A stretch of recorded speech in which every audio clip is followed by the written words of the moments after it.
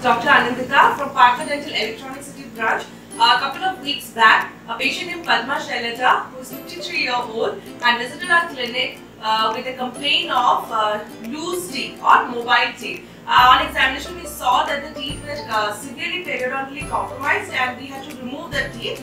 And uh, within like five days, we have uh, delivered a replacement for her. Dr. Arpita, our prosthodontist, has done a wonderful job uh, in making a removable partial denture for the patient. And now the patient can have a good smile and also eat her food properly. Thank you.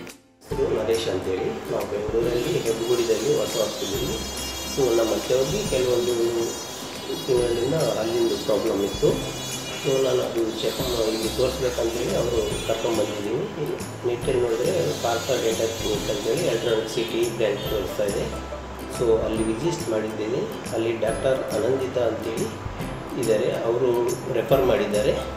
So ಅವರು treatment ಕರ್ಕೊಂಬಂದಿದ್ವಿ past one month ಇವತ್ತು treatment ಎಲ್ಲ complete ಆಗಿದೆ. ಇವತ್ತೆಲ್ಲ final so doctor Arpita ಅವರು doctor ಅವರೇ treatment ಮಾಡಿದ್ದಾರೆ. So ಭಾಳ ಚೆನ್ನಾಗಿ ಮಾಡಿದ್ದಾರೆ.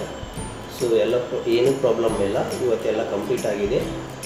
ಸೊ ತುಂಬ ಚೆನ್ನಾಗಿ ಮಾಡಿದ್ದಾರೆ. Thank you so much Kartha dental clinic